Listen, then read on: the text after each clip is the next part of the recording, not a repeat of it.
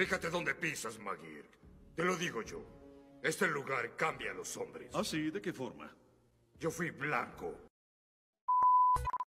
Pues bien, el nuevo capítulo 87 del manga de Dragon Ball Super ya está aquí. Un capítulo el cual nos traerá el final del arco actual de Granola, que sí, por fin ha terminado. Gracias a Dios. Dando así final a la trama que teníamos con Gas, Granola y el tremendo vendehumos de Elec. Además, por supuesto, de la aparición del Emperador del Universo y su nueva transformación en color negro.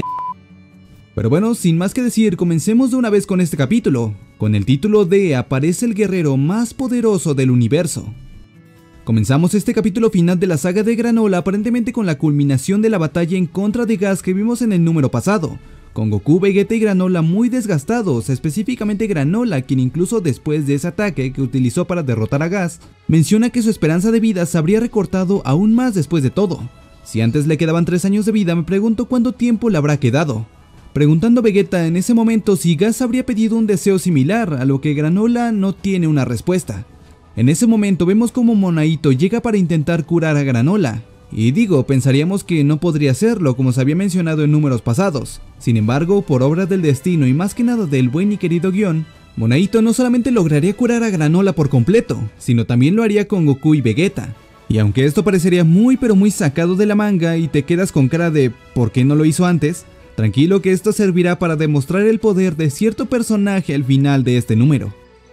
En eso veríamos como el más grande vendehumos de esta saga se mostraría intentando escapar, porque claro, pintarlo como la gran mente maestra de este arco, quien todo podía y tenía todo planeado, ahora resulta que su único plan era que Gas derrotara a todos. Claro, y como no funcionó, decidiría escapar del planeta dejando incluso a sus hermanos atrás. Yo había confiado en ti, Elec, pero me defraudaste. Me lo creí, la verdad, pero solo terminó siendo un tremendo vendehumos. Ni siquiera Gohan había llegado a tal punto de decepcionarme. Pero aunque parecería que todo había terminado para Elec, de la nada un rayo de energía atravesaría a Monaito por el pecho, revelándose que se trataba de gas, con una apariencia muy peculiar. Y lo demostraría, pues hasta con un brazo roto podría enfrentar a Goku y Vegeta, incluso estando recuperados, y que pese a todo lo que podría parecer ser algo muy pero que muy interesante, más que nada por lo que haría que Gas no terminara por derrotar a los Saiyajin, y es que al momento de que Elec parecería ver la victoria otra vez en sus manos, Maki y Oil intervendrían, tratando de detener la pelea, después de ver la apariencia de su hermano, algo que a Elec no le importaba en lo más mínimo, mencionando que a Gas ya no le quedaba mucho tiempo de vida, siendo esto que al escucharlo, Gas se daría cuenta de todo lo que había hecho, que no sé por qué no lo había hecho antes, pero bueno. Ahí Gas se percataría no solamente de su apariencia, sino también de cómo es que a Elec no le importaba en lo más mínimo, cosa que ya se lo había mencionado Goku en capítulos pasados, en cómo es que Elec solamente manipulaba a Gas para que cumpliera su capricho de ser la organización más poderosa del universo. Después de todo, la vida de su hermano no le importaba si no le servía para sus ambiciones. Mientras Elec incitaba cada vez más a Gas en ese momento para que acabara con ellos, porque sabía lo que se acercaba, o más bien, quién se acercaba. Porque al momento y antes de terminar esa última oración, cierto personaje llegaría al planeta cereal, imponiendo el respeto y el temor que tiene que generar el emperador del universo. Porque sí, creo que ya todos nos imaginábamos que esto sucedería, y es que Freezer entraría en escena en este capítulo haciendo lo mejor que sabe hacer, hacer un tremendo desmadre como siempre.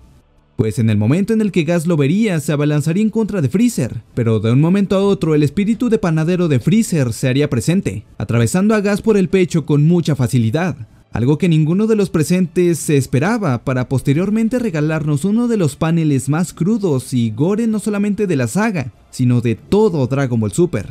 Si ver a Goku ser atravesado por Moro fue impactante, ver cómo Gas se comenzaba a deshacer hasta quedar en los huesos, y posteriormente ver su cráneo siendo aplastado por Freezer, no sabría cómo describirlo. Después de ver esa exhibición de Freezer, ahora tocaría turno para el Vendehumos. Y es que no solamente le bastaría a Freezer humillar a Elec mencionando que ya sabía de sus intenciones de hace 40 años, sino también revelaría el por qué Elec se escudaba demasiado en Gas. Y la razón es que él era el más débil de sus hermanos, para posteriormente eliminarlo de un momento a otro, y así acabando con la temida organización de los Hita, que creo daba para mucho más, pero con ese Elec la verdad mejor que sí se haya muerto. Sin embargo, la exhibición de poder de Freezer no terminaría ahí, pues en ese momento se percataría de Goku y Vegeta, dando así motivos suficientes para mostrarnos por lo que en estos momentos Dragon Ball Super y más que nada Freezer están rompiendo internet. y también de paso las escalas de poder de la serie. Y es que Freezer mostraría su nueva transformación, la cual la llamaría como Black Freezer, que si me preguntan es un diseño y nombre muchísimo mejor que Golden Freezer, y por supuesto mucho más poderoso. Pues en un instante Black Freezer lograría derrotar a Goku y Vegeta, incluso estando en Ultra Instinto y Ultra Ego respectivamente, mostrándonos así el nivel tan absurdo de poder que tendría ahora, para después de hacer su desmadre irse como si nada, no sin antes llevarse a Maki y Oil para lavar los trastes, porque digo, para algo tendrían que servir. Y ya para finalizar, veríamos como después de todo y mis lágrimas que solté por Monaito, Whis llegaría y lo terminaría reviviendo porque, digo, no es como que si puedan dejar tan siquiera que alguien muera en una saga para tratar de darle peso y algo de consecuencias a la historia, ¿verdad? Eso es algo muy difícil de hacer. Pero bueno, luego de hacer las paces con Granola e invitarlo como es de costumbre a la carnita asada, Goku, Vegeta y Whis se marcharían, no sin antes dejarnos una incógnita sobre el mencionado ser más fuerte del universo, pues en un principio parecería que se trataría de Freezer después de todo, pero Whis mencionaría que muy probablemente haya nacido alguien más fuerte en alguna otra parte del universo, dando así final a este capítulo y a esta saga de Granola que ya se había tardado bastante. Pero bueno, siendo sinceros, creo que este ha sido uno de los capítulos más locos que hayamos visto en toda esta saga. Y si bien como final puede parecer muy apresurado porque, en efecto, así lo fue. Digo, se aplicaron un Madara Uchiha en este capítulo, ya me imagino la conversación entre Toriyama y Toyotaro. Y de repente Gas es demasiado fuerte, así que hay que traer a Freezer para que lo derrote. ¿Que qué? ¿Que no es suficiente? Entonces dale también una nueva transformación a Freezer. Y es más, que se vuelva Neck. ¿Por qué no? Ahora veo que cada vez se está volviendo más real este meme.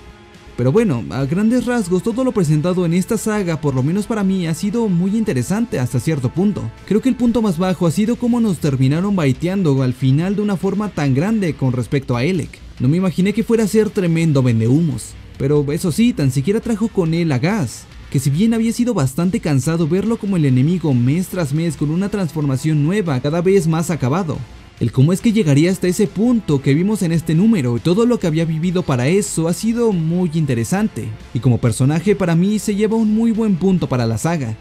Y qué decir de Granola, aunque creo que se merece un video más detallado al que para mí es el mejor personaje de toda esta saga. Pero lo más importante que nos dejó este número 87, Freezer y su nueva transformación. Una transformación que viéndola parecería solamente metida a la fuerza, pero que está bastante bien justificada en lo que respecta al personaje de Freezer. Digo, se la pasó entrenando 10 años en una habitación del tiempo. Si en 4 meses alcanzó el nivel del Blue, no me imagino qué nivel tendrá ahora. Creo que es momento de que Bills se comience a preocupar tan siquiera un poco con los personajes que se están volviendo cada vez más fuertes en el universo 7. Por ejemplo, Goku, Vegeta, Gohan, Broly y ahora Freezer, que hasta veo normal que ahora sea el más fuerte del universo, o por lo menos eso parecería y que veremos con lo que nos dejó su aparición en este capítulo si el emperador volverá a tomar la importancia que tenía y debería tener en la historia. Después de todo es el besto villano de Dragon Ball. Aunque eso sí, pensando en el final de la saga, como dije, es un final bastante apresurado. Es un final y ya está, dejémoslo mejor así. Por lo menos creo que fue mejor que como terminó el arco de Moro. Así que veremos a partir de ahora con esta nueva saga que se viene presentando cómo implementarán todo esto, aunque eso sí tendremos que esperar un tiempo ya que el manga tendrá un parón indefinido. Puede ser de un mes o más, así que por el momento solamente tendremos que esperar y ver si ahora sí se animan a pasar el final de Dragon Ball Z, o tan siquiera llevarnos a otros universos porque ya han explotado demasiado el universo 7, y un cambio de aires no le vendría nada mal a la historia. Pero bueno, tú dime, ¿qué te pareció este capítulo y el final de la saga de Granola? ¿Crees que aprovecharán al Cereciano en un futuro? ¿Quién será el mencionado guerrero más poderoso del universo y más importante aún? ¿Freezer seguirá siendo racista ahora que también se ha vuelto negro? No te olvides de suscribirte si no lo estás para no perderte de ningún próximo video. Y sin nada más que decir, un gran saludo para todos. Y nosotros nos escuchamos en otra ocasión.